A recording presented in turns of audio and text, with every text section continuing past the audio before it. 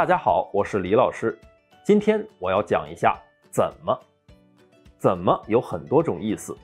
第一，它可以用来问好，比如“嘿，你最近怎么样？”第二，它可以用来询问状况。你的朋友不舒服，你可以这样问他：“喂，你怎么了？”第三，当你遇到问题，你可以这样说：“这个题太难了，我该怎么办？”